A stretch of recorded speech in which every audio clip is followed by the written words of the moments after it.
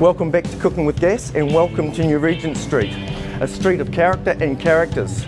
We're here at the Caffeine Laboratory. Let's go and check it out.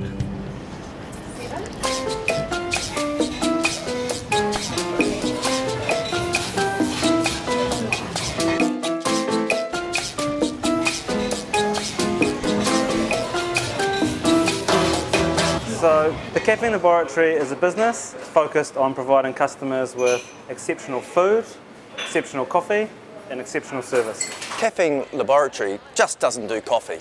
It's doing great breakfasts, lunches and even dinners. But today we're going to look at chocolate mousse. Let's see how it's done.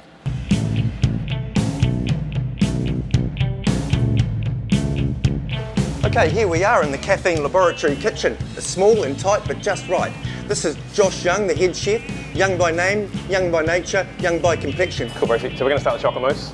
Grab the dark chocolate. This is the first procedure. We're going to get it on the heat, get it melting, nice and gentle. Don't want to burn this. She's expensive. A little bit of water. The water cannot touch the bottom of the bowl. That's what's going to burn your chocolate. So we're just going to sit that on and let that do its thing.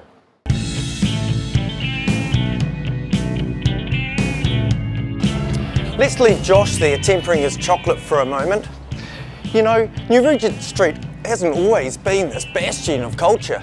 It started life out as, believe it or not, a field for the travelling circuses. And then it was roller skating, movie theatres, even a boot factory. Hull Street in Christchurch survived the earthquakes. This wonderful eclectic group of buildings, the Spanish architecture. We're so lucky. That's very colourful, sort of suits my personality. And you've got all these lovely little coffee shops and different um, shops that are available. I think it's a fantastic asset for Christchurch. And then we've got the tram right behind us that links it to the rest of the city. So you can take the tram down to the terraces, obviously? Yes, yes, I have my annual pass that'll get me all the way to the terrace, and it's it's wonderful actually. The annual pass locals it only is fifty nine dollars for unlimited use on the tram for a whole year, and the gondola as often as you like. It's a bargain. That is a bargain. and I don't have shares in the place.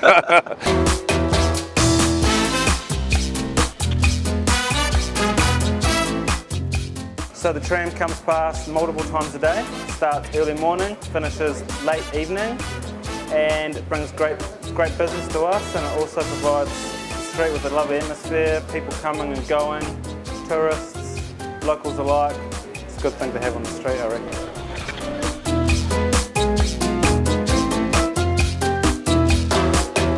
Chocolate's nice and melted. Now if you take a good, good close look, she's not stuck to the bottom, she's not burning, it's just smooth, glossy chocolate. That's what you're after. Okay, Brucey, sabayon.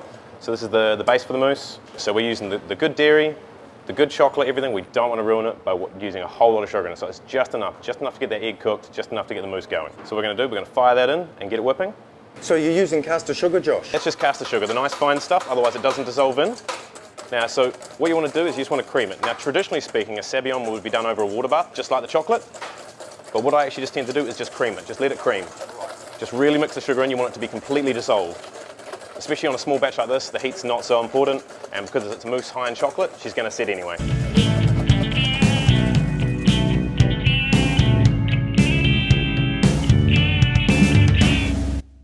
So last step, whipped cream.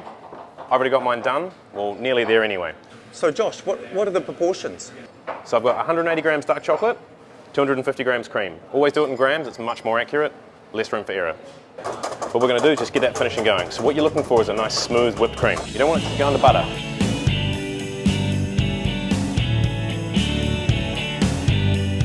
We've got all three steps ready to go. The whipped cream, the sabayon, and the chocolate. However, as I said, here at the Cafe Lab, we have to do one more thing. We have to include the coffee. So we've got a nice fresh espresso here. Doesn't matter, you can actually just go down to your local coffee shop and get one, but you want an espresso. What do you think of the coffee? It's strong, it's rich, it's really lovely coffee. I gather that they've got a very secret blend in this stuff. So that's going in. And we're just going to whip that a little bit more. So you just want one nice smooth coffee substance.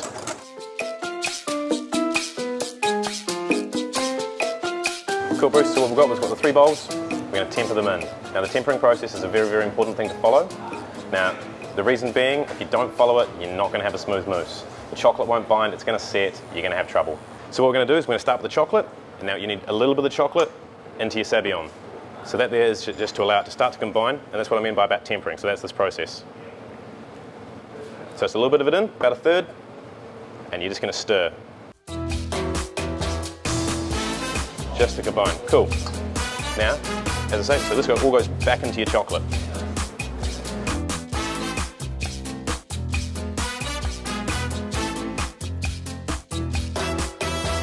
Again, gently folding. You don't want to overwork that chocolate, you don't want to damage your ear. Now for the cream. Same process, guys. A little bit of cream into your chocolate mix, then the rest on top of the rest of your cream. So again, you can see that's just mixing in. Don't worry so much about being too gentle at this stage. This is just to allow the chocolate to soften up, so when you mix it through your cream, that's when you can keep most of your ear. Now again, into the rest of your cream. This is where you want to be a bit more gentle. You want to keep most of the air in your cream, otherwise it's just going to be a very, very set, dense mousse. We want it dense and rich, but we still want a light, fluffy texture going through it. Cool. Nice and smooth, mate. That's it. That's the perfect mousse, mate. Oh, that's great, Josh. As they say, the proof is in the pudding. It's been really good down here at the Caffeine Laboratory. I think you do a fantastic job. The thought that you're doing a breakfast, a lunch and a dinner, service out of here, top class food, top class people, be encouraged.